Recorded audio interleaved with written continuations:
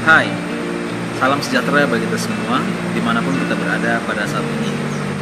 Dan di video kali ini saya akan mencoba menjelaskan bagaimana itu dalam pabrik kelapa sawit, bagaimana proses pengolahan dari awal hingga pada akhirnya nanti kelapa sawit ini boleh menghasilkan minyak dan bagaimana proses yang dilakukan di dalam pabrik sehingga minyak ini boleh dihasilkan.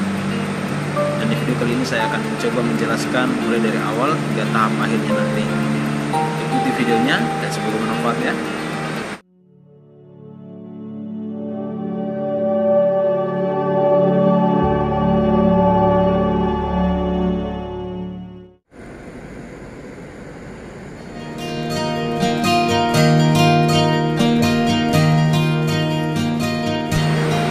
Dimulai dari tahap pertama yaitu proses pemilihan buah di mana pada sortasi ini buah akan dipilih sesuai dengan standar yang sudah ditentukan. Sehingga buah yang telah dipilih ini boleh diolah dan masuk ke dalam pabrik untuk kemudian nantinya boleh memperoleh minyak. Setelah itu buah akan didorong menuju ke loading rim di mana loading rim ini berfungsi untuk menampung buah sementara sebelum buah akan diolah lebih lanjut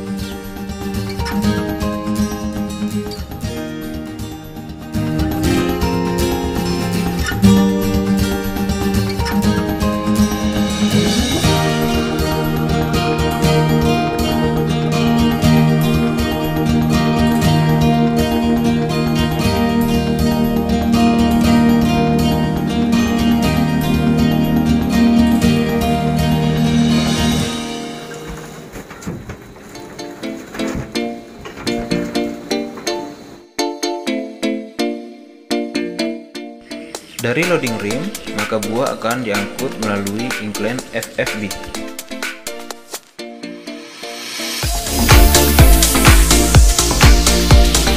Setelah dari incline FFB tadi, maka buah akan masuk dalam rebusan atau yang biasa disebut juga vertical sterilizer. Dalam proses ini, buah akan direbus selama 90 menit kurang lebihnya dengan suhu di atas 130 derajat celcius bertujuan untuk menurunkan kadar air dan mempermudah proses pengolahan berikutnya.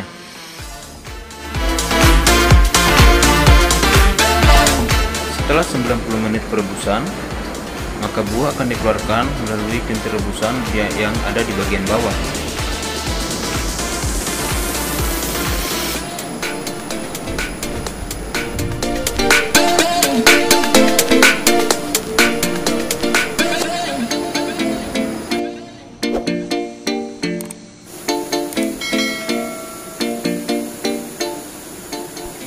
Dari rebusan tadi, maka buah akan diangkut melalui incline SFB.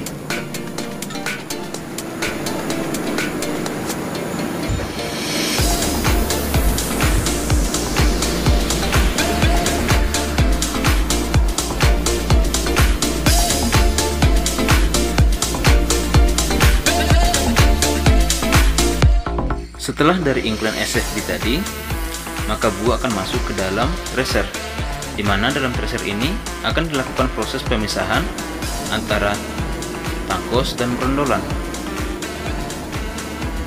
yang dilakukan dengan sistem pembantingan. Maka tangkos tersebut akan jatuh ke dalam incline empty band press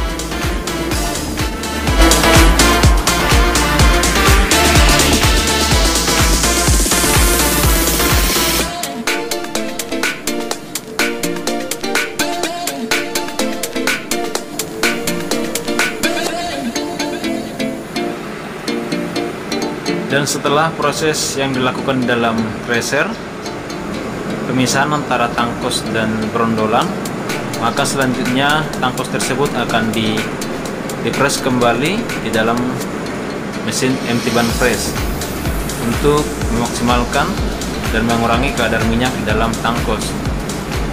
Dan setelah selesai dipres hasil dari presan tersebut akan masuk menuju ke dalam vibrating di mana vibrating ini berfungsi untuk penyaring kotoran dan hasil dari penyaringan tadi akan dimasukkan ke dalam tangki di dalam pabrik yaitu tangki hot water dilution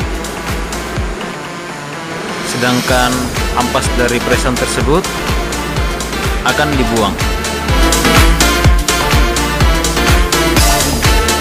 Brondolan yang dipisahkan di dalam tracer tadi akan keluar dan jatuh di incline fluid conveyor.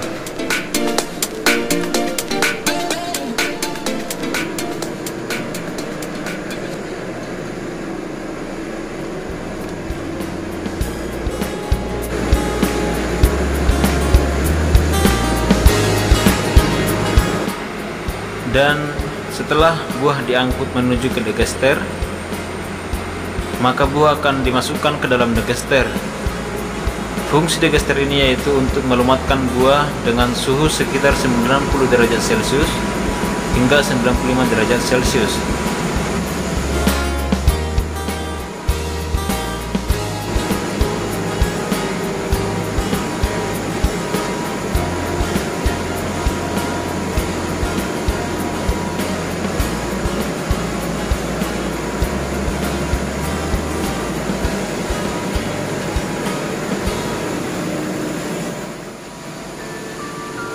Setelah dari degester, maka buah akan turun menuju ke screw press. Screw press ini berfungsi untuk melumatkan dan menghaluskan, memeras buah untuk mendapatkan kandungan minyak.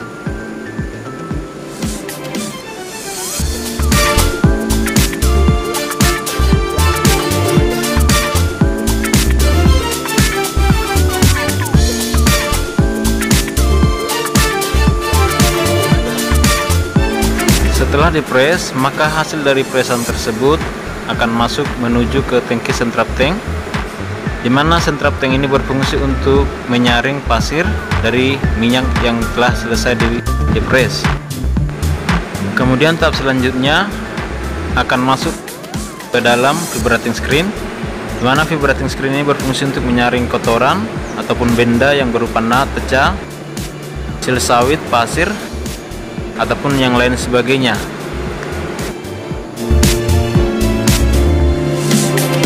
Dari vibrating screen kemudian masuk menuju tangki COT dan dari COT akan masuk menuju ke tangki yang berikutnya. Fungsi dari CST ini ialah untuk memisahkan antara minyak, air, dan selat. Dengan cara pengendapan atau gravitasi di dalam CST ini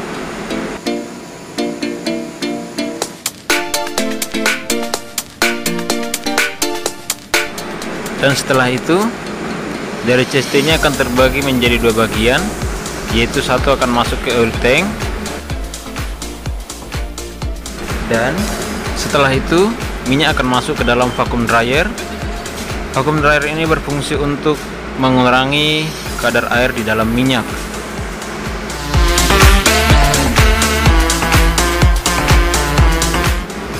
Setelah dari vacuum dryer maka minyak akan dikurung menuju ke storage tank.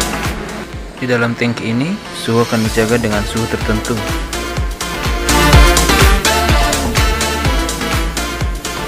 Dari tangki ini, minyak akan didistribusikan kepada penjual.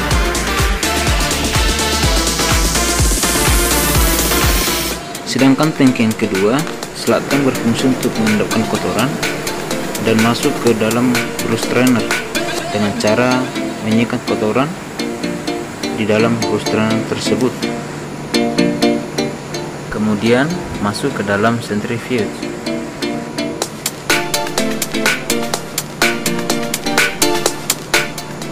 Centrifuge ini akan memisahkan kotoran dengan minyak dengan putaran tinggi dan kotorannya akan terbuang ke limbah sedangkan minyak akan mengalir ke dalam tangki SDT. Sedangkan ampas dari press tadi akan masuk ke dalam CBC.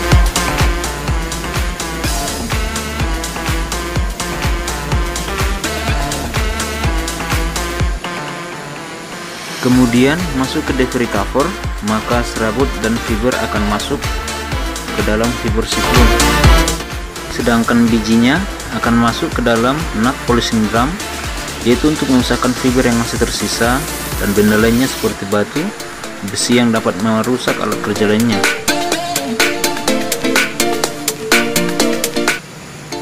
Kemudian biji akan jatuh ke dalam konveyor dan akan dikirim menuju ke breeding drum. Di dalam nut breeding ini, biji atau nut akan jatuh sesuai dengan ukurannya. Kemudian di refill mill ini, nut tadi akan dipecahkan dan dikirim melalui elevator.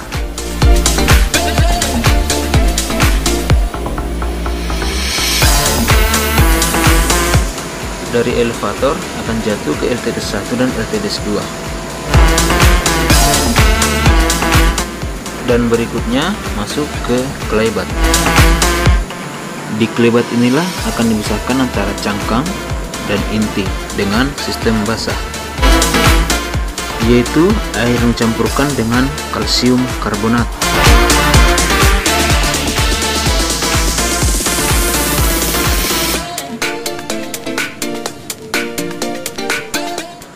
Setelah inti dan cangkang dipisahkan di dalam kelebat,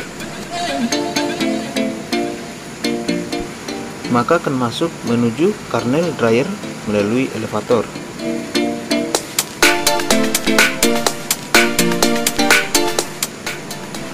Kernel dryer ini berfungsi untuk menurunkan kadar air dengan sistem pemanasan yang dimasukkan ke dalam tangki.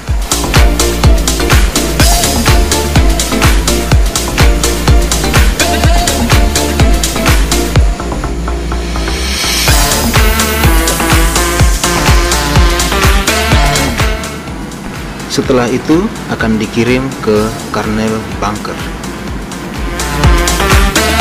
yang didistribusikan ke pembeli. Boiler adalah suatu alat konversi energi yang merubah air menjadi uap dengan cara pemanasan di dalam dapur boiler.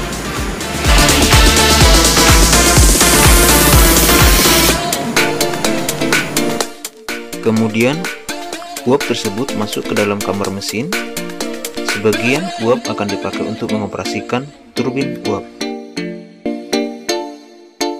Turbin ini yang berfungsi untuk menghasilkan energi listrik di dalam pabrik PKS. Sedangkan steam atau uap yang lainnya akan dipakai untuk proses pengolahan di dalam pabrik.